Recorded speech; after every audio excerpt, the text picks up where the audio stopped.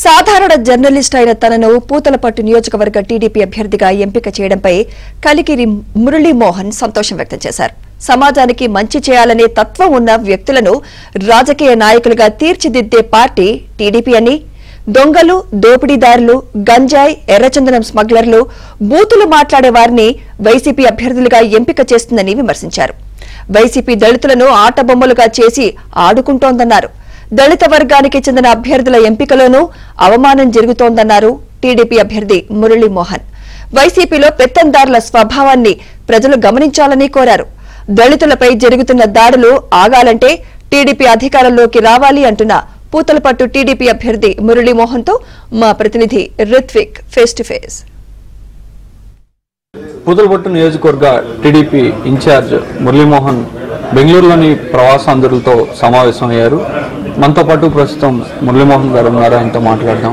బెంగళూరుకు రావడం కారణమే బెంగళూరులో నా నియోజకవర్గ ప్రజలు ఉన్నారు. నా నియోజకవర్గ ప్రజానీకానికి బెంగళూరులో ఉపాధి ఉంది కాబట్టి ఇక్కడ ఉన్నారు. ఆంధ్రప్రదేశ్లో ఉపాధి ఉంటే ఇక్కడికి వచ్చేవాళ్ళు కాదు. పెట్టుబడులు పెట్టగలిగినటువంటి స్తోమత ఉన్నటువంటి పారిశ్రామికవేత్తలకు అక్కడ అవకాశం ఉంటే ఇక్కడికి వచ్చేవాళ్ళు కాదు. సో బ్రతుకు జీవుడాని పక్క రాష్ట్రాలకు వచ్చినటువంటి నా ప్రజానీకాన్ని తీసుకొచ్చి అక్కడ కార్యోన్ముఖం చేసుకోవాలి కదా.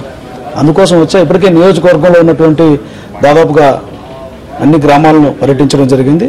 ఇంటింటికి వెళ్ళే కార్యక్రమంలో అరవై ఎనిమిది శాతం వరకు కూడా పూర్తి చేయడం జరిగింది. మరొక ఇరవై రోజుల్లోనే మిగిలినటువంటి గ్రామాలను కూడా చుట్టేస్తాం. ఈ లోపల గ్రామ గ్రామాన ఉన్నటువంటి ప్రవాసాంధ్రులు కానీ ప్రవాస భారతీయులను కానీ వాళ్ళందరినీ కూడా అప్రోచ్ అయ్యి గ్రామానికి రండి. గ్రామంలో అవకాశాలు లేని కారణంగా మీరందరూ అక్కడికి వెళ్ళాల్సి వచ్చింది. అదే మన గ్రామాల్లో ఉండి మన ప్రభుత్వాన్ని తెచ్చుకొని మన ప్రభుత్వం మంచి కార్యక్రమాలు చేసుకోగలిగితే ఇలాంటి దుస్థితి రాదు కదా అని చెప్పడం కోసం రావడం జరిగింది. సాధారణ జర్నలిస్ట్గా ఉన్న మీకు సీటు ఇవ్వడానికి ఫిర్యాదు చూస్తారు మీకు సీటు వచ్చి ఎందుకు వచ్చిందంటే మీరు ఏం చెప్తారు? తెలుగుదేశం పార్టీకి ఉన్నటువంటి గొప్పతనం ఏంటంటే ఎంతోమంది సామాజిక స్పృహ కలిగినటువంటి సామాజిక చైతన్యం కలిగినటువంటి వాళ్ళని రాజకీయం వైపు నడిపించి రాజకీయ నాయకులుగా తయారు చేసి రాజకీయ నాయకులుగా వాళ్ళందరినీ ప్రజలకు సేవ చేసే అవకాశం కల్పించినటువంటి రాజకీయ పరిశ్రమ తెలుగుదేశం పార్టీ.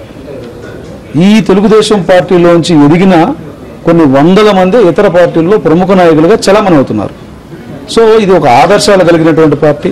ప్రజలకు ఏం కావాలి? ప్రజలతో ఎలా ఉండాలి? ప్రజలను ఏ విధంగా చూసుకోవాలి? వాళ్ళ సేవకుడుగా ఉన్నప్పుడు వారికి ఎలా అభివృద్ధి చేయాలి?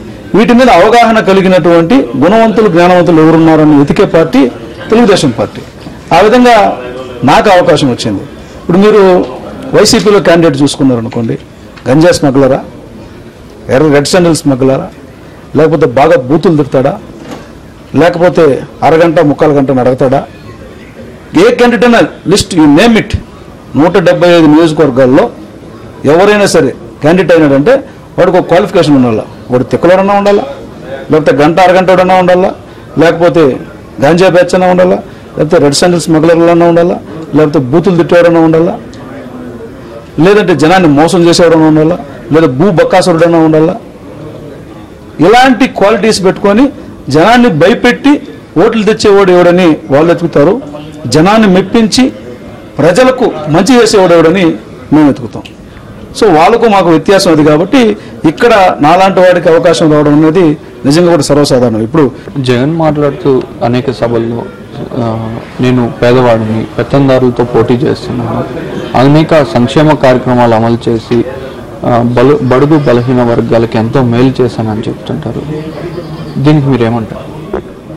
పేదరికం అంటే బహుశా ఆయనకు తెలిసినట్లేదు. అది మనకు ఎట్ట కావాలంటే వాడుకునే పదం అనుకుంటున్నాడు. పేదరికం అంటే ప్యాలెస్లు ఉండేవాడిని పేదవాళ్ళు ఉంటారు నాయన. అంటే లక్ష కోట్లు తినేసినటువంటి ఒక వ్యక్తి పేదవాడుగా ఉన్నాడు అంటే లక్ష కోట్లు పైన ఉన్నటువంటి వాళ్ళు అతని దృష్టిలో సంపన్నులు. అంటే నువ్వు ఒక ఇంకొక కారు ఇల్లు ఉంటే నీకు పథకాలు రావు. ఎందుకంటే ఆయనే పేదవాడు. పేదరికానికి నిర్వచనం మార్చేశాడు. పేదరికానికి ఉన్నటువంటి డెఫినేషన్ మారిపోయింది ఆంధ్రప్రదేశ్లో. పేదరికం అంటే ఒకప్పుడు ఏంటంటే ఒక తిండికి గడవ లేకపోతే మినిమం అవసరాలు తీర్చలేకనో ఉంటే పేదరికం. ఇప్పుడు బెంజి కారు బంగ్లా పది ఎకరాల పొలం ఉన్నా కూడా పేదరికం అని ఆయన చెప్తున్నాడు కాబట్టి పేదరికానికి ఉన్నటువంటి నిర్వచనం మార్చేశాడు. మరి రాష్ట్రాన్ని ఏం చేస్తాడనేది ఆలోచించుకోండి. టికెట్ అనౌన్స్ చేసినప్పటి నుంచి కూడా నియోజకవర్గంలో ప్రతి ఓటర్ని కలుసుకునే ప్రయత్నం చేస్తున్నానని అందులో భాగంగానే ప్రవాసాంధ్రులతో బెంగళూరులో సమావేశం నిర్వహించానని ప్రతి ఒక్కరూ కూడా ఒక దీక్షలాగా పుని పుతులపట్టు నియోజకవర్గ గెలుపుకు కృషి చేయాలని చెప్పి కూడా ఆయన ప్రవాసాంధ్రులకు పిలుపునిచ్చారు. పర్సన్ సునీల్ చౌదరి ఋత్విక్ కేబిన్ ఆంధ్రజ్యోతి బెంగళూరు.